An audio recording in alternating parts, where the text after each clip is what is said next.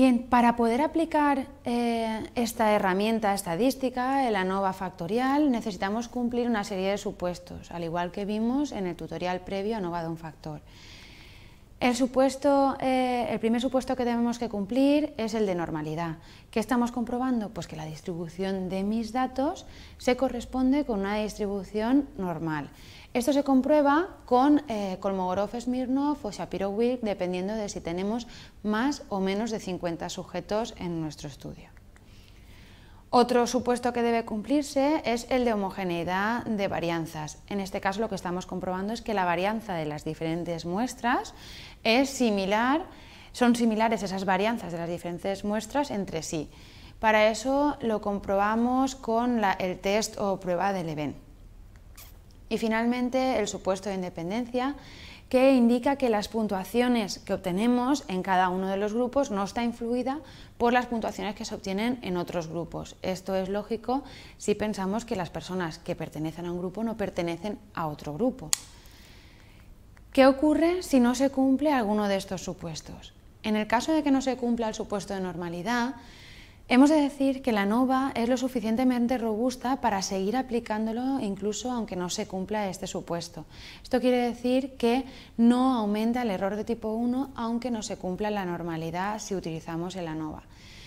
Pero tenemos otras alternativas. Podemos eh, eliminar los valores extremos, debemos eliminar los valores extremos y podemos también transformar los datos, aplicarle la raíz cuadrada, logaritmo, lo que veamos que se pueda aplicar para conseguir que finalmente nuestros datos se distribuyan de forma normal.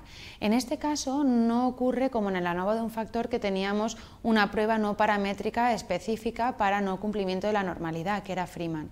En este caso lo único que podríamos hacer con las pruebas no paramétricas sería utilizar aquellas que nos permiten comparar por pares esas diferencias. Podríamos utilizar, por tanto, la Udeman-Whitney para comparar a pares los grupos que forman nuestro estudio. Hemos dicho que tenemos seis grupos, ¿no? los tres de patología por los dos de género. Podríamos ir comparando a pares. Pero, ¿qué necesitaríamos hacer para que ese error de tipo 1 no vaya aumentando? Porque sabemos que por cada prueba que hagamos tenemos asociado un 5% de error. Si yo hago seis pruebas tendría un 30% de error.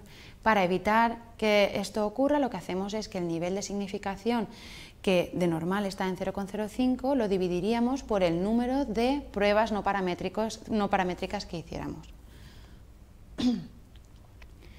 ¿Qué ocurre si no se cumple el, siguiente supuesto, que era el de homocedasticidad u homogeneidad de varianzas? En este caso, la alternativa que tenemos es transformar los datos. No ocurre como en el ANOVA de un factor que podíamos utilizar alternativas al ratio Welch. Podemos hacerlo nosotros manualmente, pero el SPSS cuenta con una opción para transformar los datos.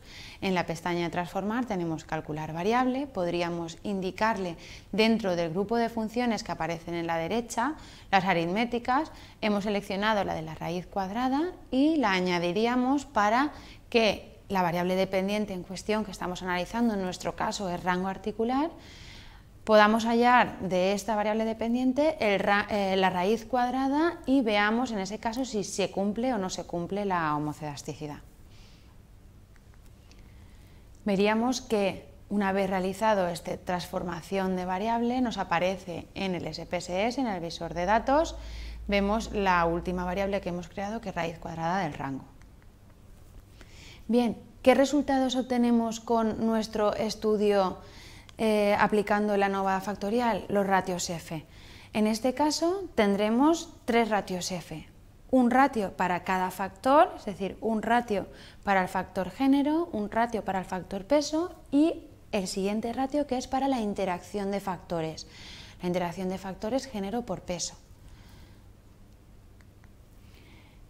Hemos dicho eh, anteriormente que el ratio F se obtiene de las medias cuadráticas, de la división de las medias cuadráticas del modelo partido la media cuadrática de los residuos. Y la media cuadrática no es más que la división de la suma de cuadrados partido los grados de libertad.